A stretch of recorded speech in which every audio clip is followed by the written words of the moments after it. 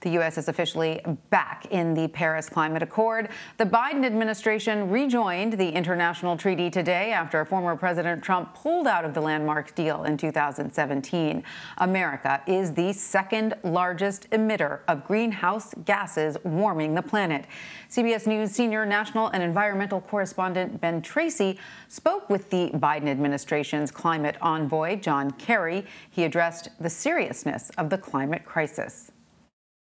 How much more aggressive do we now need to be to really solve this problem? Uh, even if we did everything that we said we were going to do when we signed up in Paris, we would see a rise in the Earth's temperature to somewhere around 3.7 degrees or more, which is catastrophic.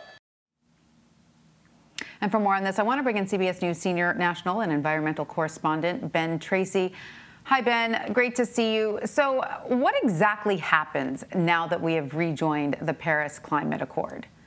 So this is not something that the average American is going to notice in their daily life. And there's a couple of reasons for that. One, we actually weren't officially out of the Paris Accord for very long. President Trump announced that he was withdrawing from it back in 2017 when he famously announced in the Rose Garden that he was elected to represent the citizens of Pittsburgh and not Paris. But because of how long it took the Trump administration to file the paperwork, and then there's this year long lag time before you can actually get out of the accord, we didn't actually drop out of it until the day after the November election in 2020. Uh, what's more important about this and more significant is that the U.S. is now saying to the rest of the world, hey, we are back in this. We're going to make good on our commitments and we're going to double down on those and increase our ambitions to cut our own emissions. And that gives uh, other countries reason to do the same.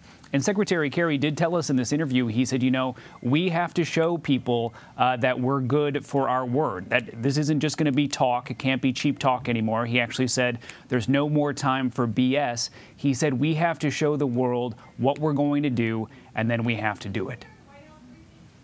Right. I want to get to your interview with Secretary Kerry. Uh, as you mentioned, he stressed to you how urgent the situation is. Let's play part of the interview. How much time do we still have left to avert climate catastrophe? Well, the scientists told us three years ago we had 12 years to avert the worst consequences of climate crisis. We are now three years gone, so we have nine years left.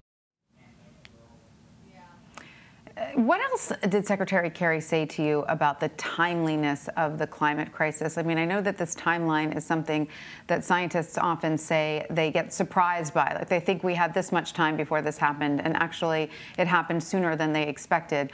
Uh, is that the kind of timeline that we're working with now?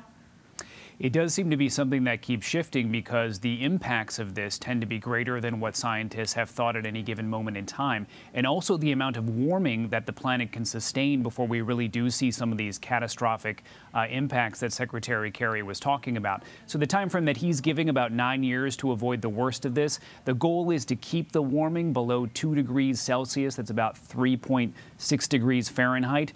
Um, and the thought is that really to stay out of that danger zone, we have to be much closer to 1.5 degrees. So there's not a lot of latitude there when you're talking about the impacts uh, of the change. The, so the secretary does feel this real sense of urgency, but he does say that he's very encouraged by some things that are already happening, especially here in the economy in the United States. We've seen renewable energy really take off in the last couple of years, despite some of the rollbacks in environmental regulations uh, under the Trump administration. We've seen wind power, solar power uh, become cheaper than coal in a lot of places and put some coal plants out of business. We're also now seeing U.S. automakers like GM come out and say, you know what, we're done with the internal combustion engine. We're going to go all electric by 2035. And they're not doing that because they're told they have to do that. They see that as the future.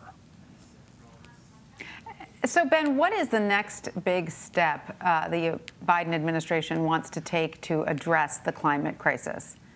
Yeah, so that's going to come up real soon. The, the administration has said by Earth Day, which is April 22nd, they want to announce what the United States' new target is going to be. How much will we cut our uh, planet warming emissions here in this country? Under the original Paris Agreement, we had uh, decided to do about 26 to 28 percent cut. And Secretary Kerry says that's that's not going to cut it anymore. That's just not enough because the planet is changing so quickly. So there is this thing called the nationally determined contribution. That is a fancy term for just how low can you go. Uh, and so what's going to happen is the U.S. will announce its intention, and then at the end of the year in November in Scotland, all the countries that signed on to the Paris Agreement, they'll get back together. Everyone will say, okay, here's what we can do to kind of ratchet up our emissions cuts, uh, and we'll find out if that's enough to keep the planet from warming. All right. Well, Ben Tracy, thank you so much for your excellent reporting and great interview there with Secretary Kerry. Thank you.